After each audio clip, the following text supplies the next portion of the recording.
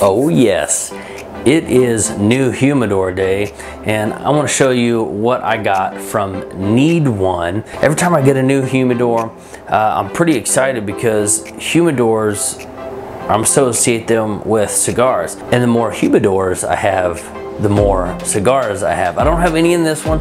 I just got it yesterday, but I promised I would get this out uh, fairly quick. So what I'm gonna do today and what you're gonna learn in this video is the good, the bad, and the ugly from the NeedOne 48L. Hey guys, I'm Ellory Wells from CigarScore.com, the best place to find and rate where to smoke cigars. And we also have the best place to find and buy cigars over at CigarScoreLounge.com. It's a business that my wife and I started a few months ago. Uh, we are in the process of having a great lounge. Uh, while we are doing that, we are here in our offices. So we've got like shipping boxes over here and our lounge stickers and all that other stuff. So we are in a working working uh, office, if you will. We're in a working uh, retail spot from where we we send our cigars and our subscription club boxes all over the country. So uh, this is a, this is a, I'm, I'm evaluating this humidor. We're going to take a look at it real quick. Uh, we're going to go through all the details, but there's uh, just a little bit of a teaser. We're going to go through all of this from from kind of two perspectives. One, a very practical approach for someone who uh, has a lot of cigars, not enough, but a decent amount of cigars and also as someone who is is managing uh, inventory. So right now very much like your own home uh, we we're in a room. There is a offices over here behind me. Right over here we do have a window unit that's keeping this room at about 68 to 69 degrees which might be cooler than your house. But the point I'm bringing up is this humidor right again this is the NeedOne. We're gonna go inside of it here in just a second. But this one has right now it says it's 66 degrees in there. Can you see that? Boom. I don't know if that's uh, mirrored to you or not, but that says 66 degrees. Now it says 65 degrees, uh, but you can change this. We're gonna go through all of this. I'm gonna tell you what I like, what I don't like, what's good, what's bad. Let's go ahead and do that.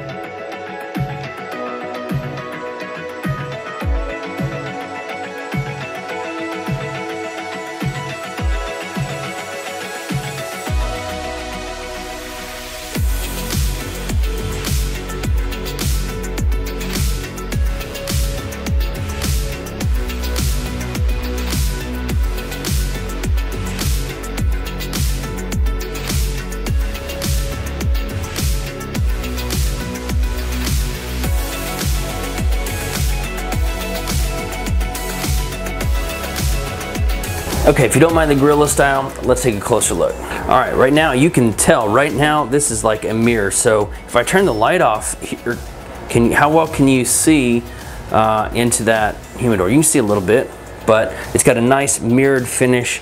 At this angle you can see, it looks messy, but I promise you that's just packing stuff. But you can see it's very, very mirrored. Turn the light on, got a nice beep and you can see just a little bit. So uh, what I do like on this console right here in front of you is the ability to change the temperature. It does heat and it does cool. You see vents here all along the side. They're kind of transparent here. You can see my hand back there. So it's got nice venting down here at the bottom. It's got a, a drip pan. Uh, you can't really attach it, but if there is any excess water, uh, it, will just drip out here. I assume that's what it is. And then there are two fans. Let me see if I can rotate this so you can give you an idea. So right here on the back, you can pop this off just like like this and they suggest you clean it but there are two probably 120 millimeter fans uh, to help circulate all of the air inside now the humidor itself is not this deep it probably stops about uh, right here and the rest of it is the heating and cooling elements of the cigar. As you can see, I'm able to move this with one hand. Now it is empty, but it slides really easily. And again, you can change the temperature right here. So I'm gonna leave this on 70. Now let's go ahead and turn the light on. There you go, the light is on and uh, let's check this out. We got some nice thick glass here, the handles, and a really good seal. Let's check out these removable shelves here. It does come with a hygrometer. It does come with the batteries. And oddly enough, you can see what I've added to it, 75.3, 77. It's actually kind of accurate. I was very surprised by that, but very accurate. So this top drawer, one, one thing that is, now we're gonna kind of go along here. And I'm just gonna give you my thoughts as we go along. You just noticed I pulled this out. You have to open the door almost, almost the entire way to get these drawers out. So what I, so this, all these drawers, one, two, three, four, all slide out. What I do like is even when it's out here, out all the way here, because of the way they've done their rails, it won't fall on you. So it will fall if you pull it all the way out, but here is the shelf, nice cedar, and you can hear it clicked on. Not sure if my mic picked that up or not, but uh, we do have these fans, let's see. Oh no, that's the Cigar Oasis that kicked on to keep the humidity up. Sorry, not, not the fans. But we have the ability to slide all of these around and what you will notice here in the back is that there is plenty of a gap here in the back to allow for airflow. Hopefully you can see my hand uh, just a little bit dark in there and the camera doesn't want to focus. So let's zoom back out here. Um, but we do have these four shelves. If I were going to set this up right now, I'm going to use these uh, these Govee packs. I love these; they're everywhere. I am I am. This is a brand new one, so I am making sure uh, it it matches the 69% here, and so it's calibrating that as we season the humidor. So what I'm probably going to do is swap this drawer and put it down here. Can't will it work? It will work. It's a, it's a pretty tight fit, it looks like. Is it gonna work? That's one of the things that is good and bad about this humidor. It's, uh, the shelves are a really tight, tight fit, probably too tight uh, for, for comfort. Let's see if it goes into any of these other ones. Okay, there we go. So it, it fits better in some than others. The reason why I was gonna put this one on the bottom is so it would just kind of be a, a catch all in case something did fall. Yeah, so easily it doesn't doesn't quite go all the way. So good and bad. Great, great that they don't fall out on you, but you can see how this one is pretty snug. You can pull it pretty far out, and they do have a slight lip there on the end of these to keep them from going back too, far. So we'll push that back in right there, but you can see it's just just a little a little bit tight. They could take just millimeters off the sides of this and it would fit uh, a little little bit better. But anyway, we've got nice knife shelves here. Put this one um, up at the top. That one's that one slides in Nice, I wonder if they're different sizes. No, it looks like they are about the exact same dimensions, so I'm not sure why some of them fit better than the others. Finally, they send you this little bitty weird, it's, it's for water, but it doesn't, does it go into these? So down here there's like a little bit of a trough. I'm not sure uh, you can see these, these grooves or anything, but does it go in there? No, no, it doesn't. So let me just unplug this so it's not trying to humidify everything. So it's not like it's going to drain, although there might, no? Anyway, I'm not sure what this is for, but they do send you this container so you can put water in it and use that as your humidification. But instead, what I would suggest that you do is what I have done and grab you one of these Cigar Oasis. Uh, this is the Ultra, the Excel is above that, and then there's there's two more levels, and then the Magna is what I've got. If you watch my humidor tour, I will link to that right up here. But what I'm gonna do is just leave this here in the bottom, which is why I wish they had put another shelf, you know, just now, I know they can't accommodate every sort of humidification device that's out there, but I kind of wish they would allow one of these shelves to be dropped down a little bit so that there's less uh, wasted space in here. So um, just a couple tweaks, but overall we've got a really nice humidor. The, the seal is great. I guess I do need to move this around because it doesn't quite go in all of the way. Okay, now that I've showed you what, what I liked, what I don't like, some drawers fit, some doors could be shaved down like literally like a millimeter just so they can go in easier. And you have to add your own humidification system, uh, which adds to the expense of this because I think this is like $330 or something. Uh, there's going to be a link in the description below to where you can just grab it on, on Amazon. Uh, but one of the things that I I have looked at and looked at and looked at is how well these humidors hold cigars. Now, you might store a lot of singles, maybe you buy in boxes, so let's take a look at both of those things. Let's open up the, uh, the humidor. So let, let, me actually start with, with some boxes here. So we've got uh, some Caldwell Mad Mofo. That's a pretty thin box. That's not gonna be a good example. Let's do these. Let's do an Undercrown 10. Now that's a pretty standard sized box. You can put that right in there. You could also fit, uh, let's see what else.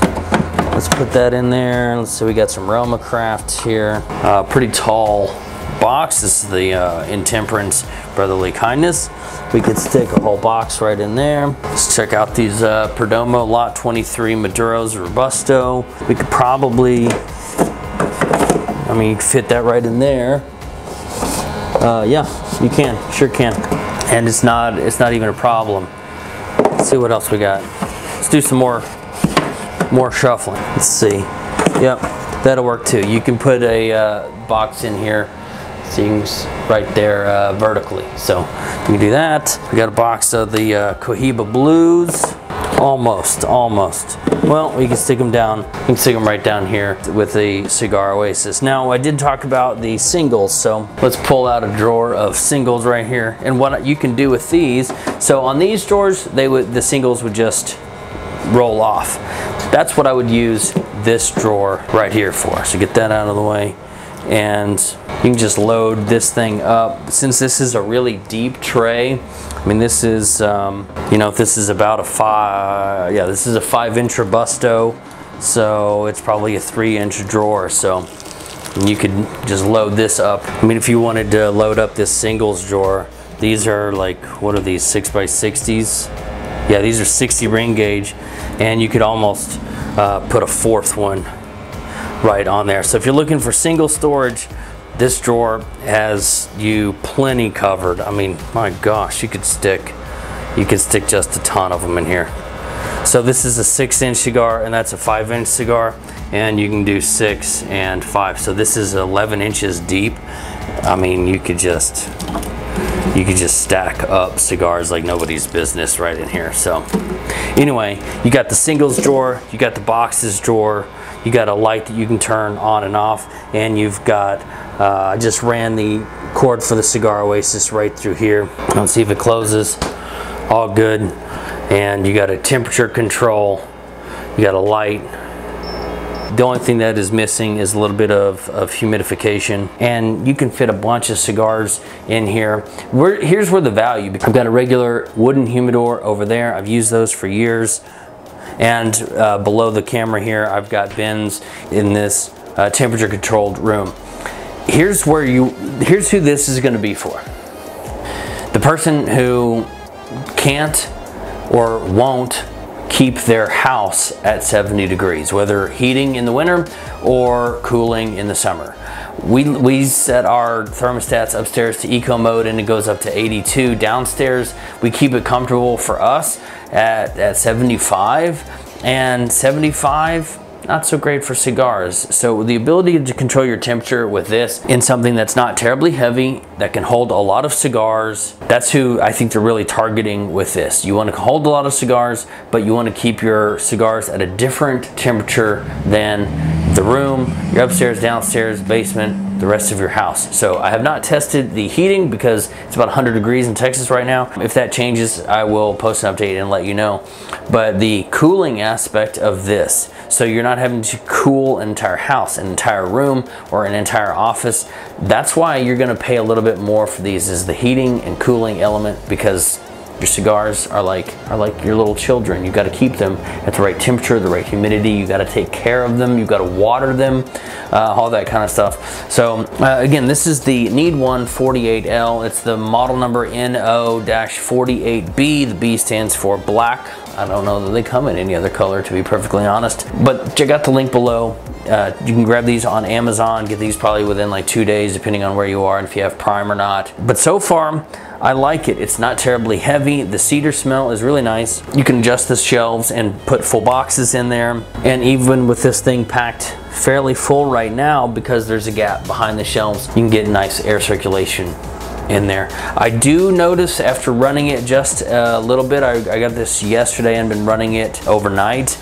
I do think that it runs just a little bit cool. So I don't know how long it's read 68 right here, but as you can see, the thermostat is at, uh, set at 70 and according to the uh, the Govee here it says 68.2 and this is 68 so uh, it does seem to run just a little bit cooler overnight whenever uh, I came in, I think it said uh, it had been there for about 22 hours. Uh, I had it set on 70 and it was 65. Maybe I had it set on 68 and it's 65. Either way, I think it's running a little bit cooler. So just just to be aware of that, it's always good whether you have something that's like this uh, or, or whatever. Just have more than one way to measure it because the likelihood of this gauge being actual I don't know, maybe it's pretty good.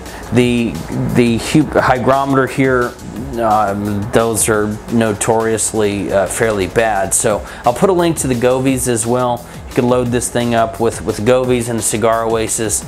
And for under $500, you've got a, a heating and cooling thermoelectric humidor that will hold hundreds of cigars.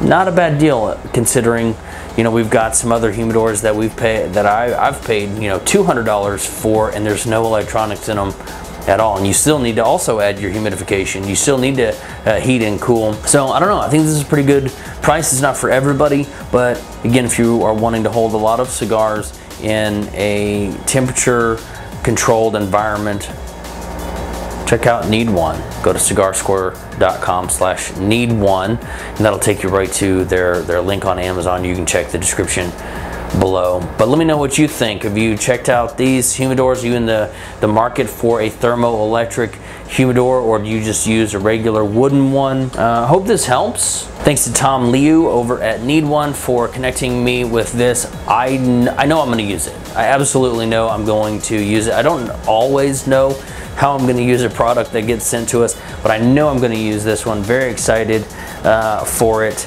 And um, yeah, so thank you, Tom. Thanks to the NeedOne team. I'm Ellory Wells from CigarScore.com, the best place to find and rate where to smoke cigars and learn about cigar accessories just like this one. Hope you have an amazing day. And as always, happy smoking.